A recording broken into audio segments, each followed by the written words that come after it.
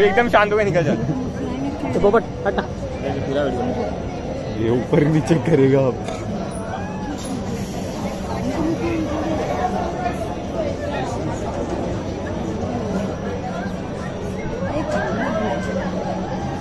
क्यों मतलब क्यों कर रहे हैं हम लोग? Thank you.